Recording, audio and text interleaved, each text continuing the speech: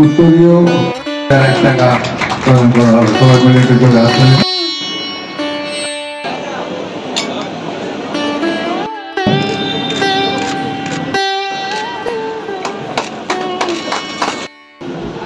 আমি যতটুকু খবর নিয়েছি, বহু পুরনো ক্লাব এই সংঘ এই রাস্তা দিয়েও কিন্তু আমি প্রায় সব ভোরবেলা অ্যাথলেটিক্সের জন্য আমি প্রায় এখানে কয়েক চক্কর লাগাতাম পুরো এই এমবিবি কলেজের সমস্ত চক্কর ক্রস কান্ট্রির জন্য প্রিপারেশন হতো এখানে।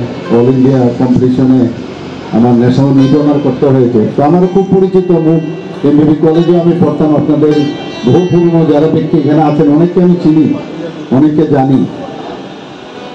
তো আপনাদের শুধুমাত্র ক্লাব বা সংঘ শুধু চালন মানে পরিচালনা করেন না এটা একটা মিনি গভর্নমেন্ট কিন্তু অনেকটা আমি আমার ক্ষুদ্র অভিজ্ঞতার থেকে বলি।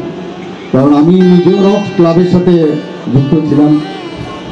একটা যতগুলো ক্লাব আছে ত্রিপুরাতে, আপনাদের যেমন ক্লাব তার একটা নাম, ধাম, সবাই জানে। সেই রকম আরেকটা ক্লাবের সাথে আমি যুক্ত ছিলাম। প্রায় পনেরো বছর, ষোলো বছর আমি ক্লাবের সেক্রেটারি ছিলাম। সভাপতিও ছিলাম প্রায় এরকমই, প্রায় চোদ্দ, তেরো, চোদ্দ বছর।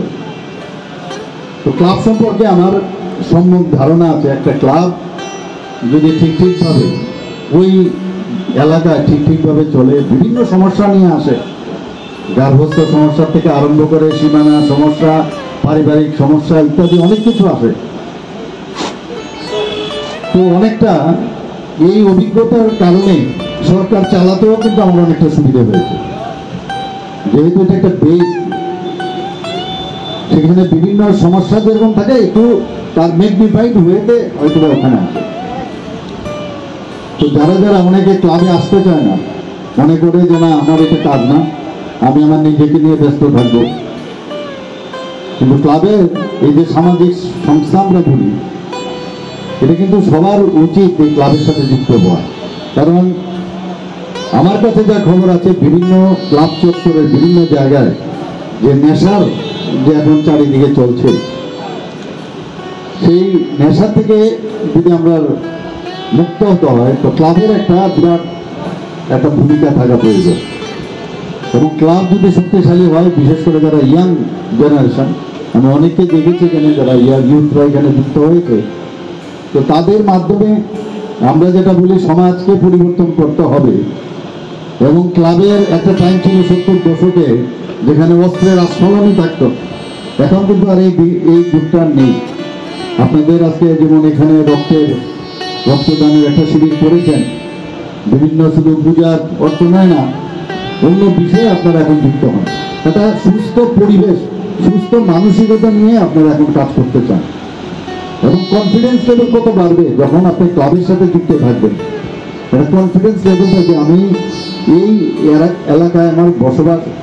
যেহেতু সবাই আমরা একত্রিত, কোনো সমস্যা এবং তার সমস্যার সমাধানে আমি যেহেতু part and parcel of that club খুব ইজি গোয়িং হয় সব কিছুতে আমরা ইজ অফ বিজনেস বলি ইজ অফ লাইফও হয়। এবং আজকে যারা এখানে রক্তদান করতে এসছেন, আমি ওনাদেরকে ধন্যবাদ দেব।